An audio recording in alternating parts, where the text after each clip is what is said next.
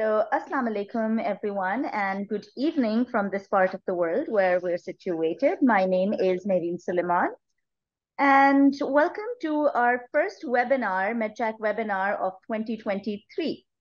So a bit about the webinars. These webinars are held based on our book, MedJack, which was AKU's first ever digital book. And there are also print versions of the book available. The book is available on Amazon for world over and at a platform called as Kobo for Pakistan. Uh, print versions are also available.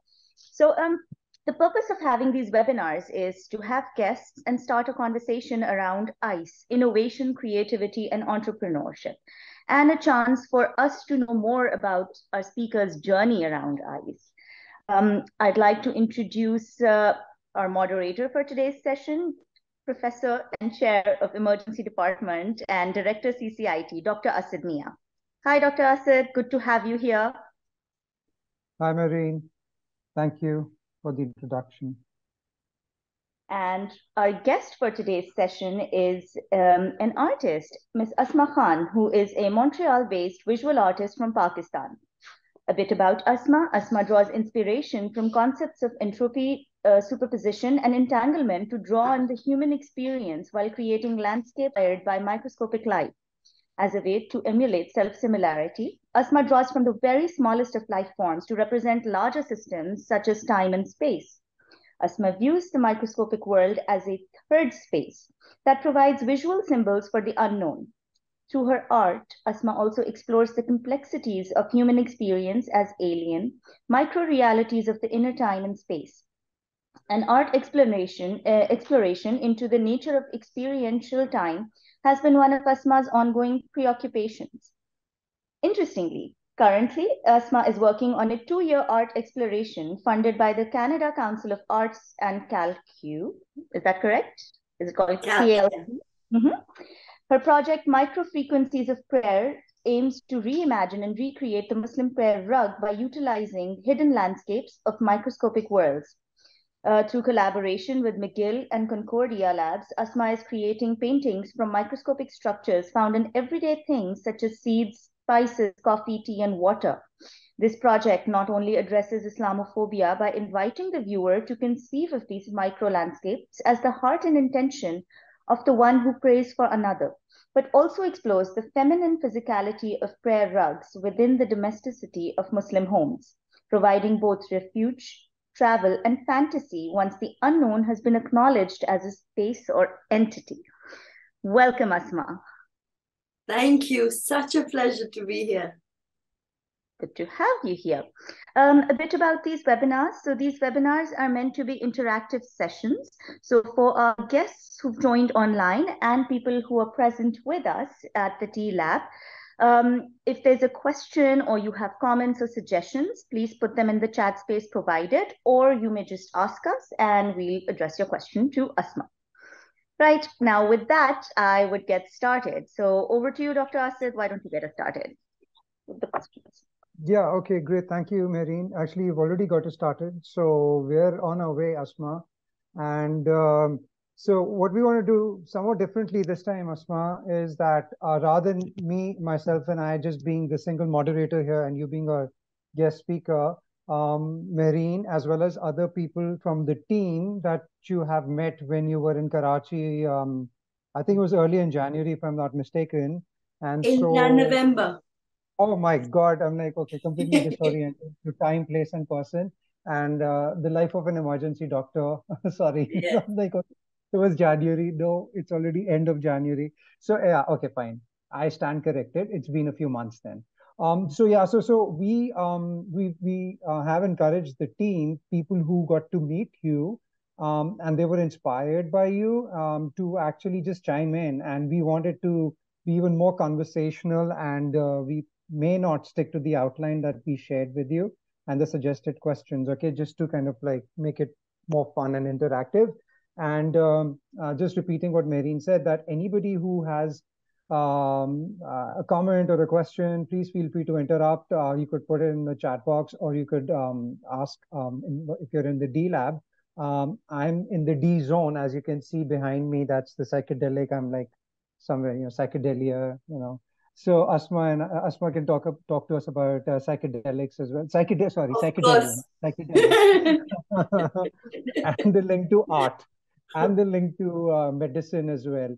So, um, uh, without further ado, um, Asma, so we shared um, chapters 9 and 10, 10 with you, and in in uh, in the past we've never shared two chapters with any individual. We've always had one chapter as a starting point, and we felt that both chapters 9 and 2 were really appropriate. And so I will request you to tell our audience a bit about chapters 9 and 10 versus me in describing the uh, the, the, the ethos of those two chapters. And perhaps you, should, you could tell us a bit about the book as well, um, what MedJack is about and what you understand about it, and how are chapters 9 and 10 um, um, relevant to your work, and why did we, why do you think we um, asked you to delve into um, chapters 9 and 10 of MedJack uh, as the starting point. And here's MedJack if people want to see, I guess, this.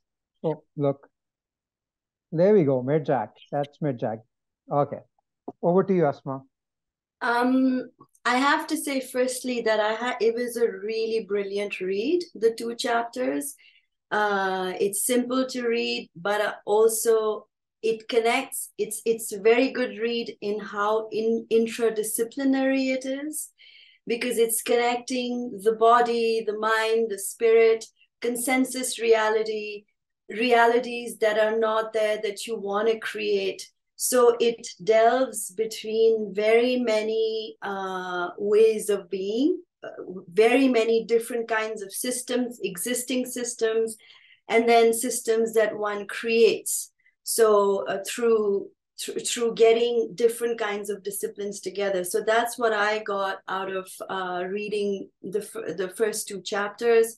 Also the fact that medicine needs to become human based as opposed to um, you know like the, the the the impetus on health for example is is not just health as you talk about it it's larger systems that create that generate systems of happiness. And in the west we have uh, maslow's uh, maslow's hierarchy of needs which in it, which in the western context creates self actualize self actualization to be something that comes from capital gain because you have to in maslow's a hierarchy of needs. You have to have achieved these things in consensus reality for you to be self actualized. Where in the East, we don't, we have a different way of existing because we can't be self actualized in the East. We are very poor to have the means that are that Maslow suggests so you know and i think that's why this this book is very important because the concept of jugaad as we spoke earlier which is uh, which is such which is i feel the magic of pakistanis. Pakistanis the magic in pakistan is the is the is a system of jugaad. That when you're told this is not possible we don't have the funds we're not able to do this people somehow manage to to get together and create smaller new systems. So um, so I think the book was giving through Eastern philosophies was giving more sort of uh, and also the most I, I feel that the most important point that you make in uh, in the two chapters is that there's two systems. There's a system that we have absolutely no control of which we understand as pakistanis electricity gas internet. Like there it's really obvious uh, and then the larger facets of our lives that we know. We don't know who when someone's going to die etc etc we have no very little control. So in the book i think it's very nice to like have that uh, through stoicism have that differentiation between what is in our control and what is not in our control and try to concentrate on the few things that we can do within our consensus reality. And outside of consensus reality, that's where I'm very interested in. That's where art and creativity comes that you know your circumstances can serve you something but how you take those circumstances and what you create out of it is where art creativity and life comes in your interaction with with those with consensus reality so um so yeah i really i had a great time reading the chapters. Yeah. It was very inspiring actually. Thank you uh, thank you for that. Thank you for those kind words asma. And so um, the book for those who are who are not really familiar medjack is is a book about innovation creativity and entrepreneurship based on our almost like decades experience of doing this through not only through healthcare and health tech innovation but also non-healthcare areas such as arts and humanities and social sciences, social innovation, social entrepreneurship. And so the two chapters that Asma you know, was talking about, chapter nine, uh, the title is Create to Innovate, and chapter 10's title is Innovation for Life. And so and so it's it's uh, it's such a it's um it's such a privilege, I would say, Asma, to hear about uh, the uh, interpretation of chapters nine and ten from you because um, you know once as a, as a, as the writer of those two chapters and and people have to keep in mind that the book is a is a, is a team approach there are 14 co-authors but those two chapters um, were some uh, were chapters that I kind of delved into because I um, um, I'm intrigued by the by the by the interdisciplinarity of innovation, creativity, and entrepreneurship. And it doesn't matter what profession you belong to, um, you can be anybody or anyone and from whatever discipline and you can uh, play in innovation creativity and entrepreneurship. So it's interdisciplinary from that perspective. And so and so you know when I, while i was um, uh, ideating about that particular chapter those two chapters and while i was writing those chapters and even after uh, the, the, the finished product as the chapters in the book um, my take on it was uh, was my take on it, right? So I did not send out those chapters for external peer review or external review and then get feedback. I just put them together and put them in as part of the book. And so now hearing from you as somebody who's an artist who's delving uh, entirely into uh, into the um, visual space or art space or or however way you want to define it, um, to to to to uh, get that kind of validation uh, from a person who has nothing to do with healthcare to you know um, uh, appreciate the content and and to find it meaningful i think so uh, i guess i'm kind of rambling as well. Thank you. It's, meaning, of, uh, it's meaningful and i think what's also interesting is that you create inclusion in it. As an mm. artist i was like mm, what do i have to do with healthcare? But reading that reading the two chapters I understand my position with healthcare or my involvement possibly in the future with it. So, and that is super. See, these two chapters are very important also because now, here, for example, in Canada, uh, while speaking with friends, artists, scholars, philosophers, institutions, what's becoming more prevalent is that the only way to deal with the complex nature of our reality, climate change, uh, medicine, advancements, AI, everything. The only way to deal with it is to move away from, well, we are specialized, but to also despecialize in order to create a third space where we are we are very intra, we are very inter, we are very intra-disciplinary. That is so important. And that's why like things like emergent science emergent botany emergent biology, cellular structures, I mean, cellular knowledge, for example, that is becoming very important. That how do we, for example, someone gets to understand something, a scientist can understand something about uh, physics, about quantum physics by understanding the structure of certain of the spinal cord that that sort of relation that kind of rela- relations is it's so important it's so interesting. So i think it's it's time to connect connect connect all disciplines because they got disconnected through specializations in the last god knows how many years. That's a that's an excellent point, and um, um, it's really nice how you kind of very organically kind of segued into that particular point, which we want um, uh, to make um, and and reinforce through these webinars. Um, as CCIT, we, we we strongly believe that the decentralization process, after being super specialized, um, has become exceedingly important. So from going from a specialist to a generalist, um, so that you kind of zoom out and start looking at things um, through a zoomed out uh, lens versus being uh, too focused on the nitty gritty, uh, which has its own potential and it's ha it has its own advantages. But I think with the you know you you said com the complex nature of a reality.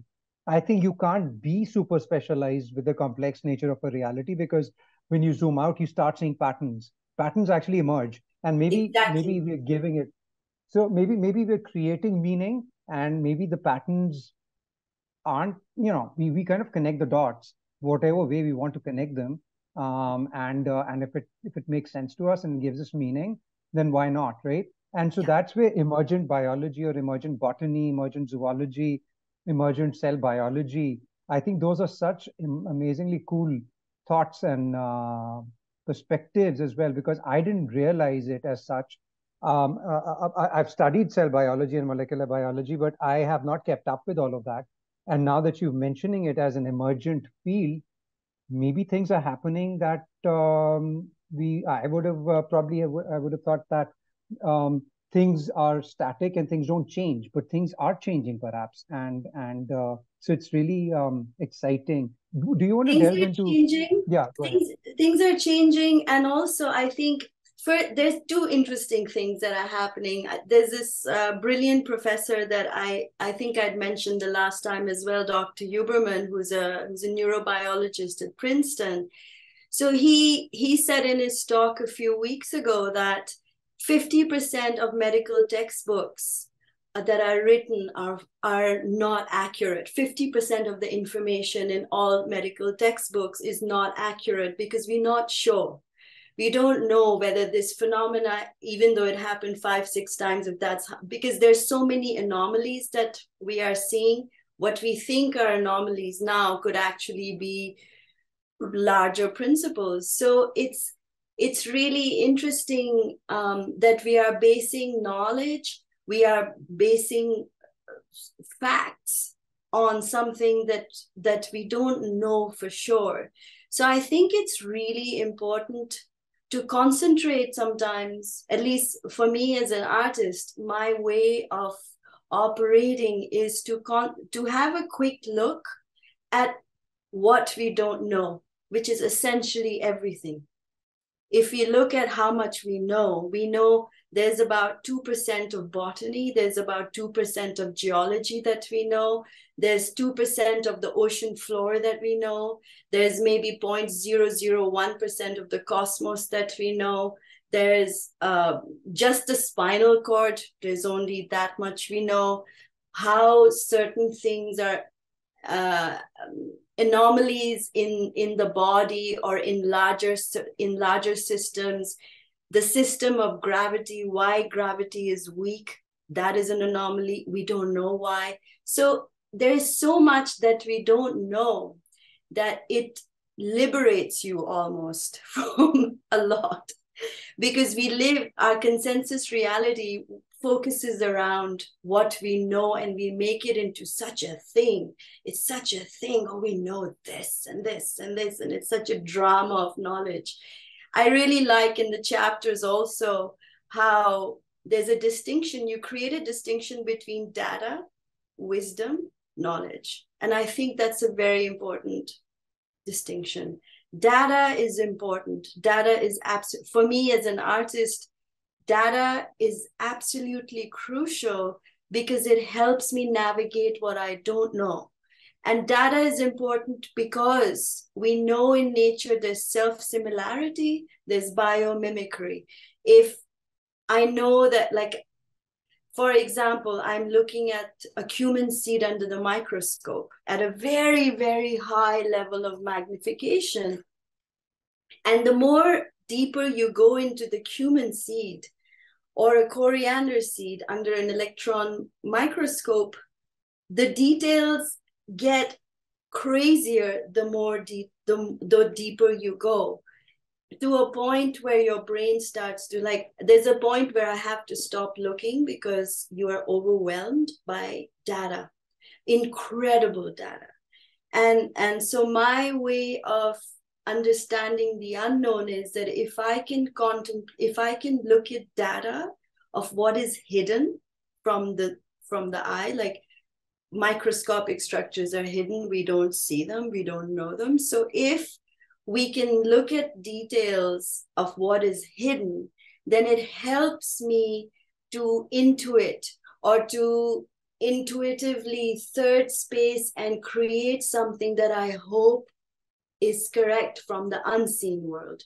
Seeing something hidden helps me draw what is not there what i can't see so, um, for example, this particular project, as you mentioned, I'm creating prayer rugs, um, which is firstly a, a big project. Um, it's also a big project because I'm someone who's prayed all my life. You know, I've been praying since I was 10 years old. So it's, for me, it's it's a family, a, a prayer rug, the, the the the relation the relationship with the prayer rug is just like if you've known something since you were 10 years old it's your cousin it's your family it's your brother it's your sister. It's different because there's such proximity uh, in time and space.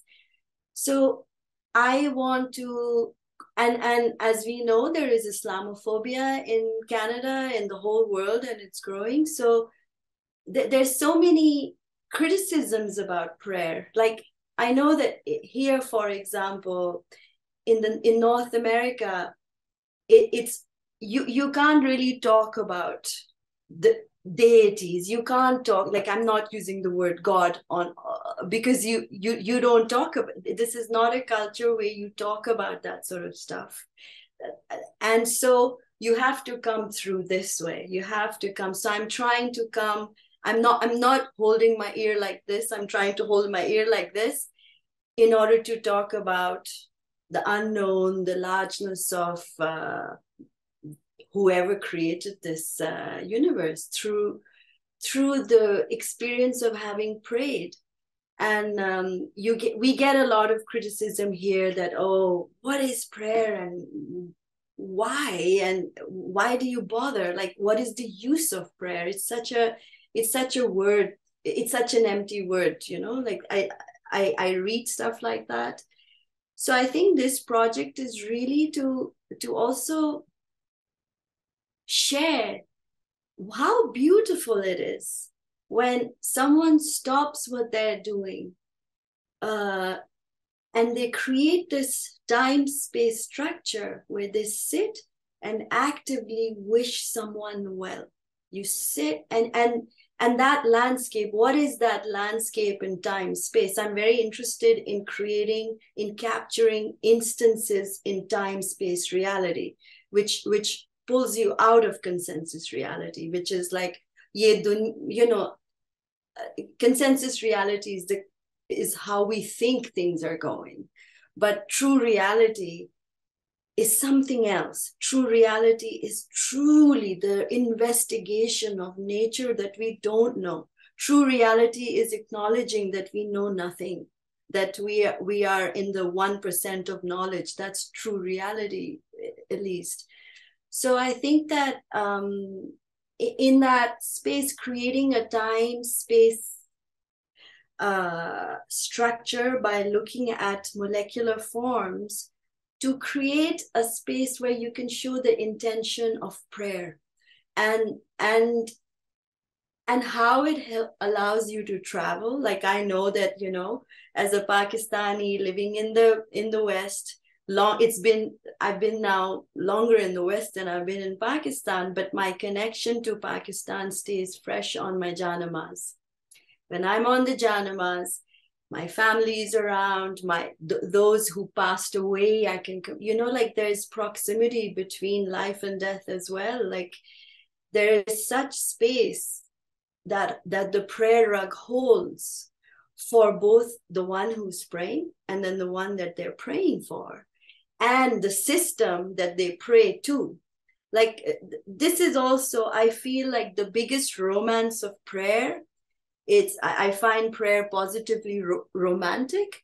The biggest romance of prayer is to the acknowledgement to, to to say hello out there to the large unknown and to say i know you're there. I don't know you. You're but but that start just starting that hello i feel it's such a it's such a special thing that it it should be captured on canvas Wow. Uh, so uh, I'm mesmerized, and you know, I, like while you're talking about all of these things, uh, it's almost like one starts getting goosebumps, right? Because the way you describe it, it's just fascinating, and and and you're able to kind of um, put this all together. It's just um, um, yeah, I don't know how to kind of like how to explain that, but but it's it's such a uh, it's such an inspiration as well, right? So Asma, I think you're blessed that you have the articulation and you have the ability to connect all of these things.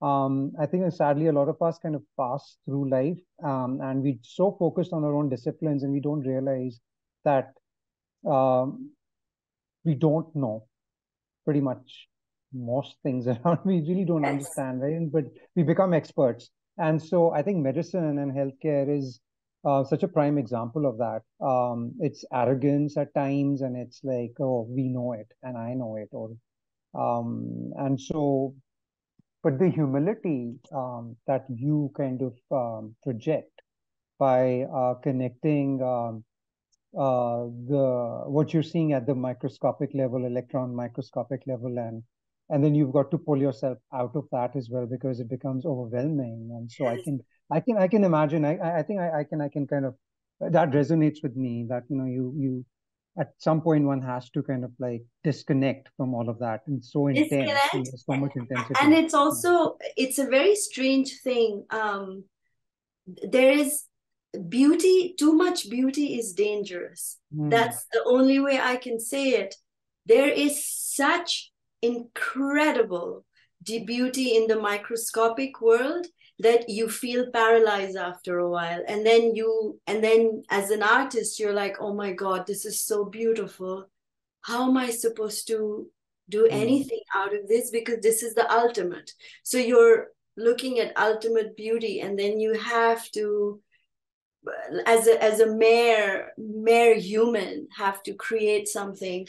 But i just want to say one other thing that pertains to this to the to chapter 2 um, that was very important for me, which is that uh, when you talk about happiness outside of Maslow's uh, hierarchy of needs, uh, happiness in all its different forms, and um, and then you know happiness as we perceive it in the West, the ideals of happiness in the West, in the East, like there are all these different things. Um, but at the same time, what is the way to eliminate unhappiness to create happiness? And in my experience i feel like uh, i can say that as an artist that art comes essentially from dealing with unhappiness and finding pockets in your life where you can if you're going to suffer over something for example your loved one dies your loved one dies you know you, you know you're going to be suffering for about one to two years. A lot of my loved ones have died so i know that that's the span it will take for you to grieve. We will all go through death we will all go through suffering and that's normal. It's it's an investment of time and space. Grief is an investment that you're not you're not allowed to move from a certain place. It holds you down. When he, grief holds you down for example to if you can create something out of your grief either in poetry in beauty in kindness in good acts as you know as we know from pakistan uh, but if we can create something out of our grief then our grief becomes a curiosity and curiosity helps you move beautifully. So if i I, for example, I was in grief a lot a lot of my relatives died during covid. I was stuck here. I couldn't go to pakistan to see my loved ones. So that grief got me into quantum physics. It got me into i feel like science can really the knowledge of science the 2% that we do know the 1 point or 0 0.1% that we do know is so intrinsically beautiful. It's so intrinsically absurd compared to how we think the world is. It's nothing like what we think. If you really start to look at physics if you start to look at you know any science if you go deep into like you have you guys are doctors you have studied studied studied and you have vast knowledges of organs and the beauty of the liver and the kidney. And um, to concentrate on what is known is a beautiful way to create your curiosity out of unhappiness. Science can actually like science, the knowledge of nature helps us move into from one space to another helps us create. So i think that is a very very important thing. And and i have to say like the art that gets done in pakistan because pakistan it's it's very interesting. Canada is a you know everybody is very safe in canada. And the kind of art that comes out of safety is very different that the kind of art that comes from someone who just heard a Kalashnikov, who who know who who knows that oh my God, some murders were committed in the city, or you know, like Karachi has a sense of anything can happen at any point. The art that gets made in that space is so potent. Like I, every time I come to Pakistan, I'm blown away by the kind of art that's getting made in Pakistan because it's coming from a real place it's not coming from a safe, safe, safe place.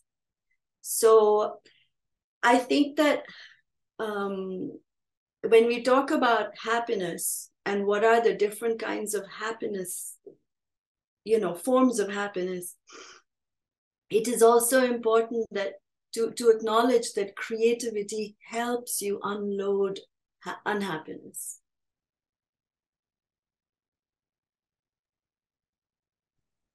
that's that's um, that's amazing. So creativity helps us unload um, unhappiness, right? Hmm. Amazing. So, um, as, uh, okay. So for the people out there uh, who are listening, if you have comments or questions, uh, please uh, feel free to um, chime in. Um, Asma, would you be able to show us some of your artwork? Yes, uh, absolutely. Do, do, you want to share your screen or uh, how do you want to do this? We have some backup images here as well. If I try to, uh, actually, maybe we could use, I could show what I have here right now without sharing my screen because I'll mess it up. I'm very yeah, bad. Sure, sure. But I'll fine. show you my some of the things that I've been doing uh, in the last little while, and then perhaps you could share your screen and we could look at some of the work that you have of mine um, one series that I've been doing that I that we spoke about in the last session was that I am very interested in grasping the nature of time. So uh, I've been making different kinds of clocks, and and I'm interested in time from a very micrological point of view because I look at the smallest, the smallest, the smallest. So if you were to break down time into instances, for example, the instance, the instance of prayer. That's a good example.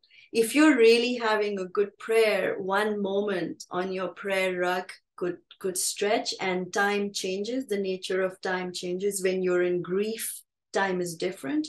When you're happy, time is different. When you're jealous, time is different.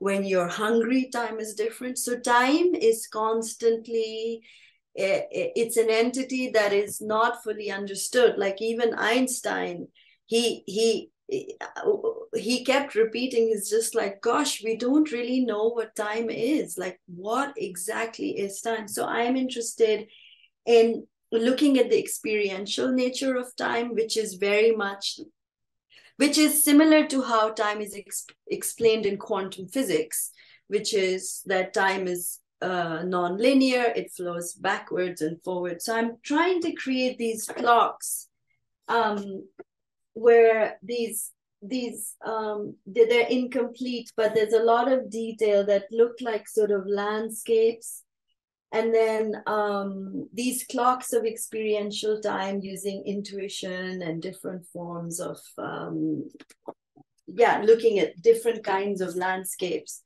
and then some of these uh, then some of these clocks became more um, you know like then i started to do triangular clocks where there a small part of the clock shows up but then I start to get birds in there because time as as an as an indication of what happens to time, the nature of time when it's passing through beauty. What is the time inside a rose? What is the time inside a lemon? I drew a lemon clock, which is, you know, so time not from our perspective, time from this perspective of a bird, time from the perspective of a song time so this is time um this this i'm making time that is going through water so it's just these linear long kinds of canvases where i'm imagining that time is passing through a body of water and uh, how does that change time so it's just these different um, sorts of sometimes I imagine like what is the time in my elbow? What's the time in my knee? And I want to go deep inside the then I want to draw the elbow. I look at the ligaments of the elbow, the muscles of the elbow, the anatomy of the elbow, and you draw it. And by drawing it more and more and more, we I can intuit into something that that to me looks like a clock. So, um, and then if you can see behind me, uh, okay, this is kind of far away, but this is the first prayer rug here that is being made.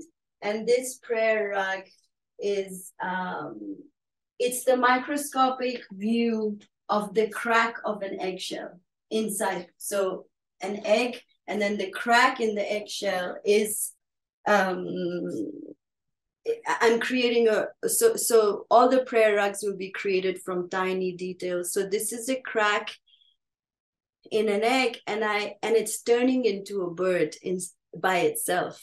You know, when you draw it, you draw it, you draw it. So it's just like okay, I started with the crack, uh, the crack of an egg, and it's turning slowly by itself into a bird. So that's you know that's the third space element that is absolutely important in art which you allow where you which is the which is the element of i don't know myself as the artist what the art form will be. It's a it's a process of exploration. Uh, that's uh, fascinating. Um, your uh, deep dive into uh, artistic dive into time is uh, is just amazing. Um, I, I think uh, just we, we could kind of just um, encourage people to put more uh, questions there. But uh, Haroon is saying, you speak so well, Asma. You put things the way it's easiest to imagine and relate to and internalize. Oh, um, thank, thank, you. for that. Um, so just uh, just a bit uh, more about time, um, because you have this fascination for time, and I have a fascination for time through the written word. So I don't uh, create art forms or artwork, but I think um, I've I've been fascinated by time. I've written about time through poetry and prose. I'm not a poet, um, but uh, I think the uh, the mystery of time is such that um, just writing about it through prose uh, does it disservice. So uh, for a non-poet to create verses around time, I think uh, it ju- it's just um, uh, it's something to be said about time. So um, I think poetry is a very good vessel for time to capture time in its nature because poetry can catch the absurd before before longer writing, like prose can catch it. Because you have to catch something very quickly, and poetry has the capacity to, which you've got, I feel. Oh, thank you. Shaire Mashrik. uh, and you're the uh, okay, so there are two more comments here. So Habe is saying, I never could imagine, um, uh, I never imagined someone could explain time in such a fascinating way. Wow, very impressive. And thank you for showing the best that can be thought about time. Thank, thank you for that. And Arun is saying, has anyone read The 11 Dimensions of Time? It's written by an Indian author. I don't remember his name. Oh my um, God, I haven't read the book, but I am very, very interested. And I've been studying the 11 dimensions of time uh, through a few other scientists uh, who talk about it in quantum physics. And, um, and I'm absolutely, that, that is my main inspiration, the 11 dimensions of time. So yeah, I'm totally into that. And, you know, it's, it's, um, time um, or the um, uh, the perception of time or the gauging time um, there's a scientific basis to that uh, cells are able to somehow right uh, um, gauge or, or uh, obviously plants and animals are able to gauge and so there's and the humans have circadian rhythms. And so um, that's such a mystery as well. And they, but it's been known that their genes and their and their uh, proteins as well that uh, are all time dependent. And so, how is this happening at a at a molecular level? It's just fascinating. Revati Revati is saying there's a lot of ancient literature on time, and that's true. It's true, and also it's fascinating that isn't it true that all the that there's an inner clock for every organ in our body as to when it will die and they're all not dying at the same time we're all like liver, kidney, they're all mm. sort of going to go at yeah. different times. Their clocks are different. And Their uh, clocks are different, yeah. And also uh, there's this this other I don't know how scientific it is, but I think this is uh, more sort of Chinese medicine where you look at where the gallbladder has a different frequency like these, these this is more waves and frequency that all uh, all organs work at different frequencies. And so to look at my project with the uh, with the prayer rugs is called micro frequencies of prayer because it is also to capture these micro frequencies that happen in our body when we're in a state of prayer we're, we're in a state of grace or when we are in a state it's something to I, I do think that it's very important and it's a it's an incredibly important thing a human does when they acknowledge something they cannot see with great confidence the way the way a prayer rug invites you. Like and especially i think it becomes more and more important and fascinating when you live in the west because it's such a different system here. It's such a different way of being here. So then uh, the, the the fascination with the prayer rug and its state, the state that a prayer rug invokes, um, you know, is much more potent for me in Canada. In Pakistan, I'd be like, oh, janamas, whatever, you know, because you're, it's like ghar ki murgi dal barabar. So, um, you know, what is up now in Canada, dal is the ultimate. If I get to eat dal, it's like, wow. so um, yeah. So um, okay, two more comments. Harun is saying, please invite Asma for a follow-up session. Um, I could not um, complete the session, but this is so inspiring. Thank you, Asma. Thank and, you. Uh, we might um, call upon Asma um, later this year for a workshop or something um, through the D Lab, right? So we'll think about how um, we could take this conversation to the next level, which would include some kind of interactive, hands-on based kind of exercise as well. And we can. Well, I'll be in town. I'll be in town. I'll be in Karachi by the end of this year, so we could probably do something in person. Yeah, okay, that'd so we be have great. A, sorry, hmm. but we do have a question here. Why don't you uh, tell us your name and then you can just ask the question. Or the camera to you. Uh, yeah.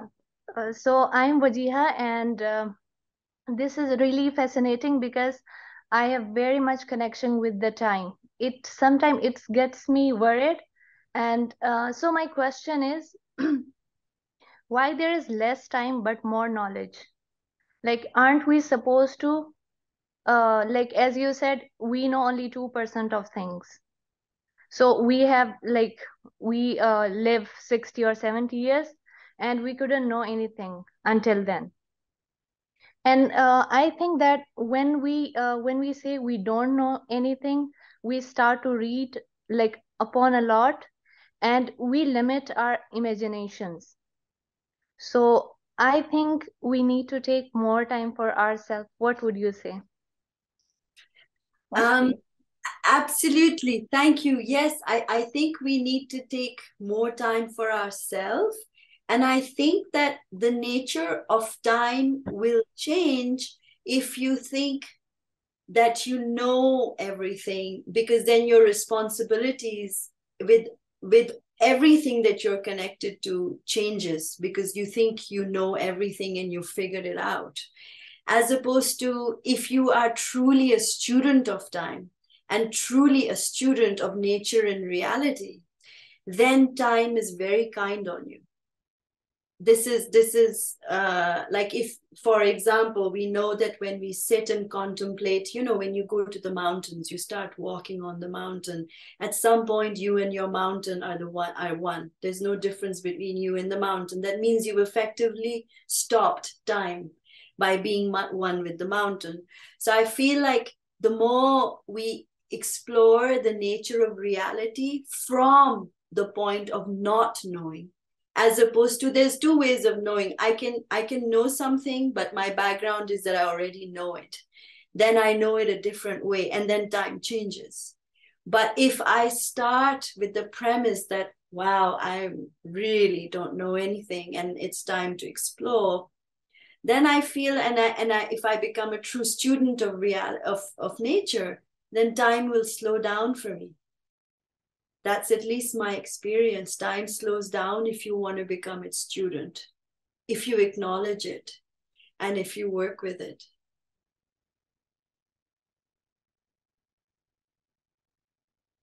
Great, thank you. That's thank you. Very well said.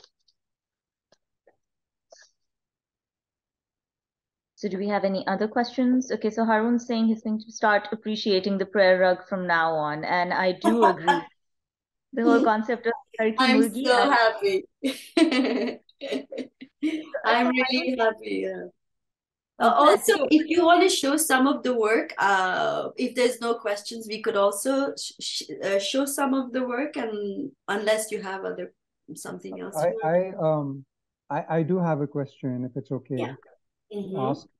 Um, because yeah, we'd love to uh, lo love for people to see um your artwork as well, but um, um uh, so, so one question is about uh, what you call the third space, and um, you've mentioned the third space, and um, and I know when you were in Karachi, we had a conversation about third space, about their third space, and and what is the third space, um, and uh, how do you define third space, and why is it of interest to you?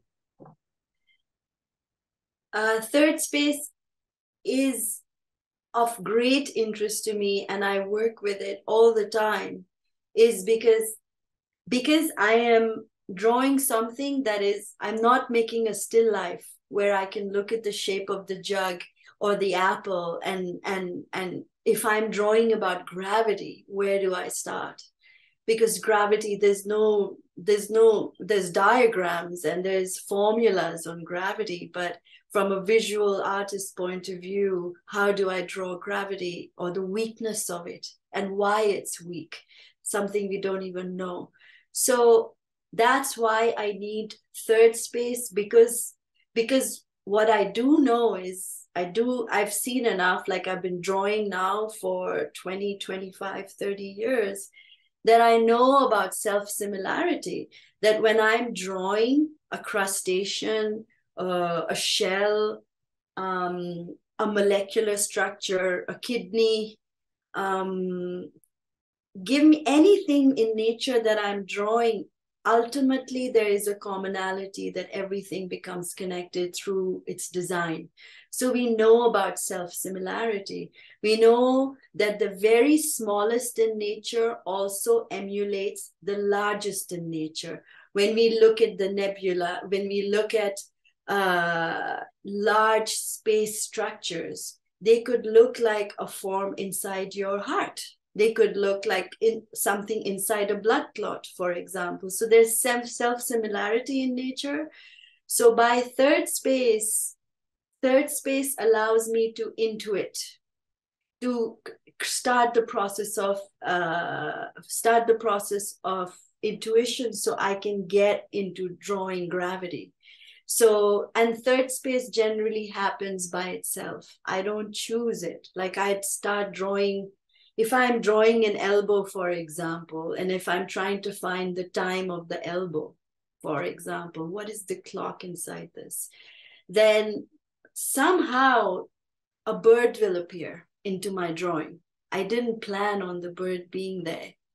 And then I'll, I'll be like, oh, that's a bird. I'm going to look at the microscopic view of a feather now. So I start to look at the microscopic view of the feather and I'm third spacing from the, and then that goes in, and then something else from the bird arises, and I look at the microscopic structure of that, and then that goes into the drawing. So third spacing is like drawing the thread in the needle, and and the thread is unknown. You don't know what it is. You have the needle, which is your pencil. And then you draw an unknown thread and you just get into it, and things emerge I think that when we talk about emergent sciences, the word emergent is so important because in any practice, if you've done it long enough and if you acknowledge the unknown, you'll intuit, into it. So um, yeah.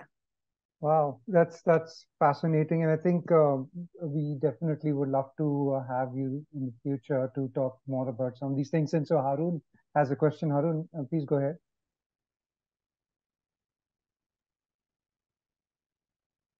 Thank you so much, Asma. Uh, you know, from your talk, what I gathered was, you know, that you, you know, you manage to, you know, actually take out time from life, you know, and think about the things which we don't normally think about, right? Uh, you know, we are so much focused on a daily life, right?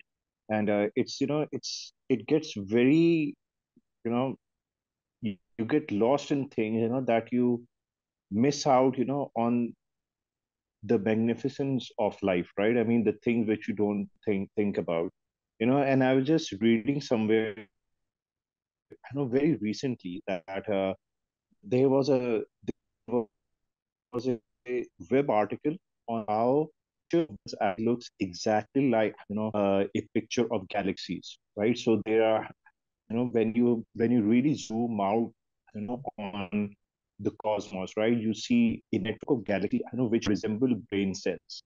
Totally. I know that is the same thing, right? Then start see pattern, like you know when you see the structure of an atom, right? And with the electron you know, going going around, right? It is exactly the same pattern as you look at the solar system, right? I mean, planets going around the sun, right? I mean, and you see this repetition right you see the same patterns you know and uh, i you know at the risk of you know turning this conversation into a very religious one i know there is a verse in the quran which says you know that uh, you will not see any change in god's ways right so i mean mm-hmm. linking it with them right i mean you know, there is a constant pattern we see you know everywhere you know and across scale right right from the minutest thing you know to the grandest right so I mean, for I know sometimes you know that you know makes me off. You know, like we are missing out on things, right? I mean, we are so much focused, you know, on you know the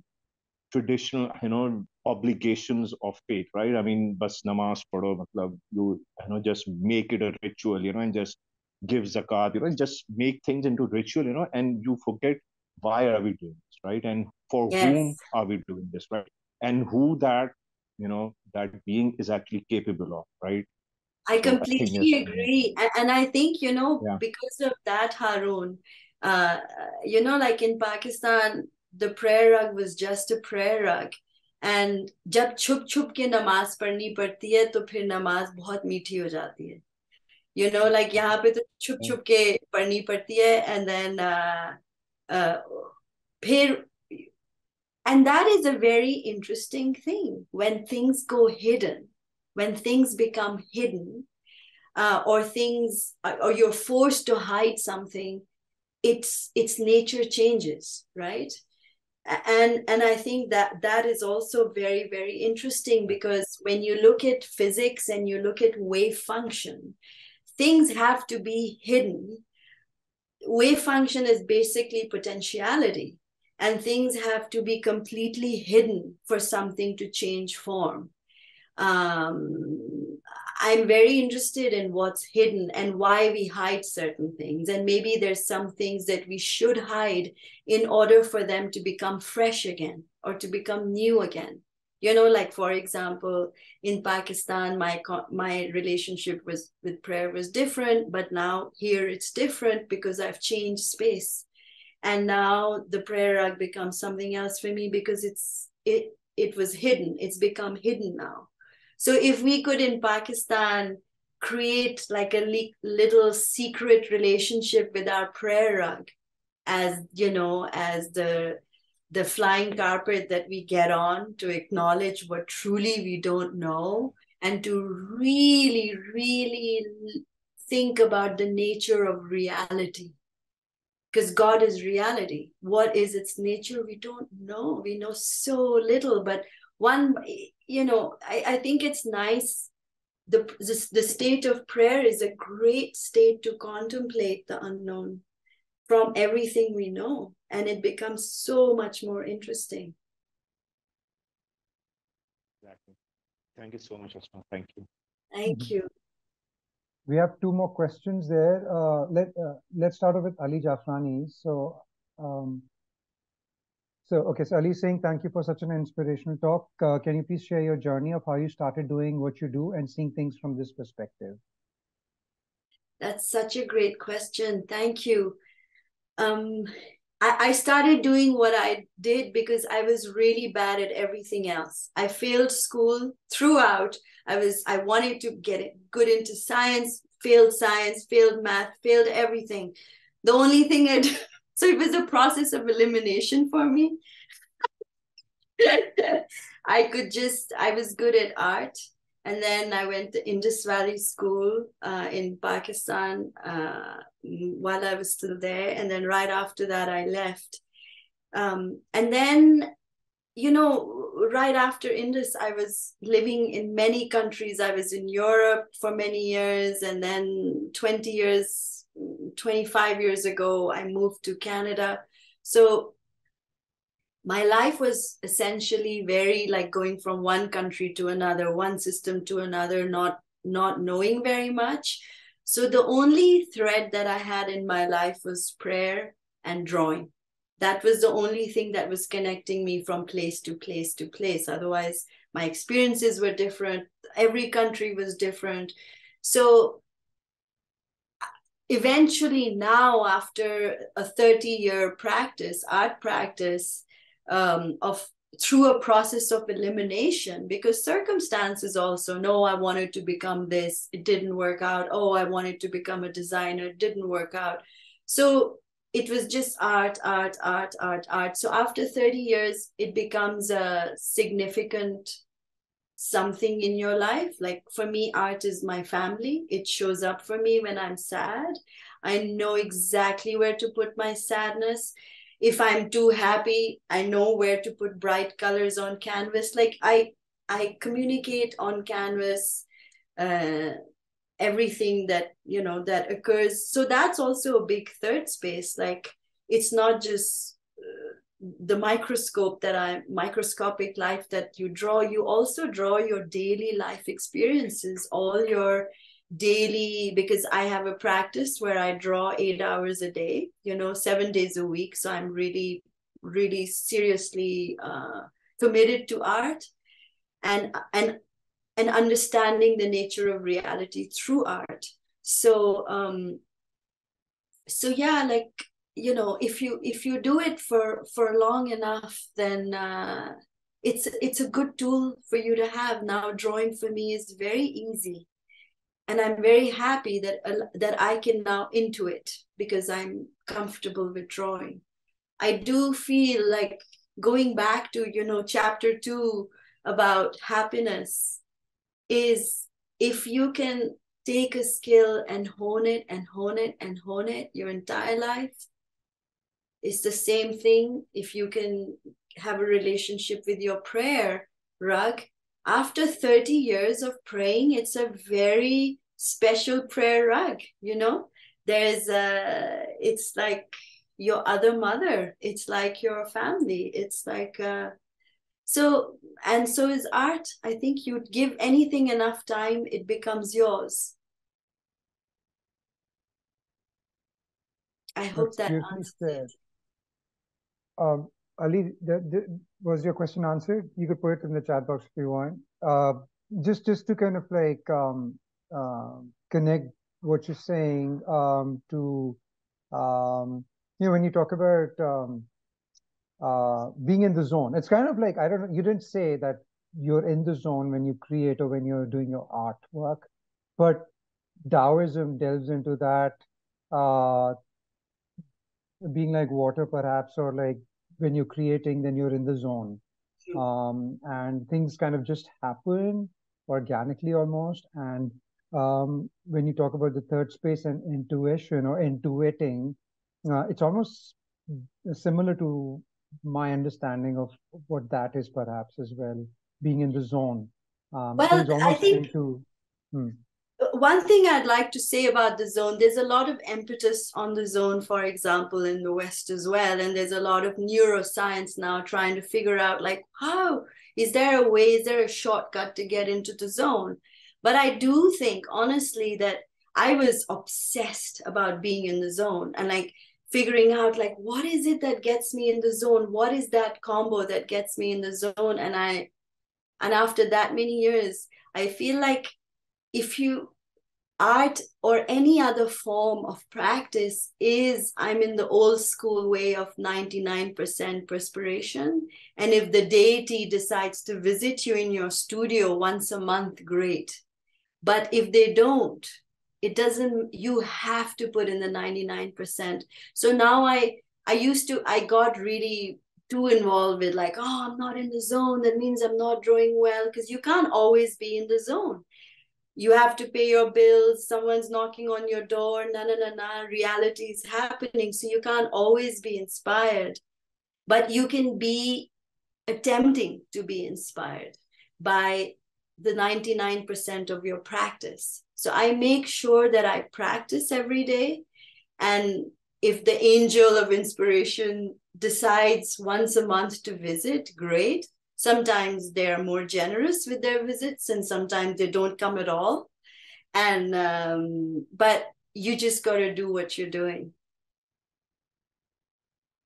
Because the zone is one thing and there's an there is there is an an intuition that resides in the body that resides in the hand that has drawn a lot that resides in your inner systems that you don't know about so, um, you know. Makes sense. Um, so Asma, you know, the session will be ending soon and we've had so much fun talking to you. We would love to get you into another uh, webinar soon and or a workshop. If you could give one take home message for our viewers and listeners and people who are present here. One message, okay, this is this is this may sound trite um, but i i've been living away from pakistan now 22 years or 23 years. And uh, i was just in pakistan and you're in pakistan right now. So i just want to say that you know i look at i look at the talent and the the incredible vast levels of beingness that exists in Pakistan because of, you know, when you were talking about gross national happiness in your chapter two or chapter one, and then it was really inspiring to like pakistan is a country i think that okay we have such little we don't have a lot but we are the highest in, terms of giving zakat in, in in terms of giving charity to the poor we're one of the highest and the potential in Pakistan is so huge because we have jugaad, we have creativity, and then we have a tradition that we can fall back upon um, that I think that uh, I look at the artwork that's being made in Pakistan. I look at the, the the innovation that's happening in Pakistan, and honestly, I go mad with pride. I just go mad with pride. So it's uh, it's so inspiring for me to to be part of this conversation, to know you guys, like the kind of conversations and and questions that you are asking. And uh, and i think the one thing that harun said earlier about like oh my prayer you know my relationship with my prayer like i think the only thing is if we could if if we could get outside of our systems to look at ourselves as pakistanis with new eyes everything if we can find a way to look at our janamas with new eyes what we do with appreciation and love, it would be a good idea to, you know, have a source of pride.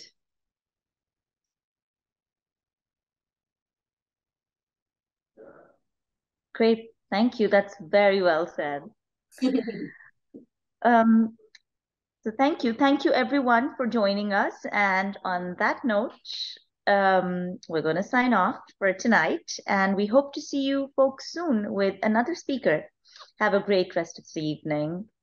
Bye, everyone. Thank you, Thank you Asma.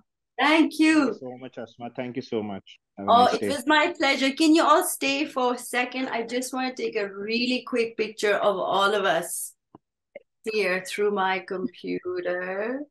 Sure, sure. Whoops. Okay, that didn't happen. okay. okay, thank you so much. Bye. Bye. Take care. Take care.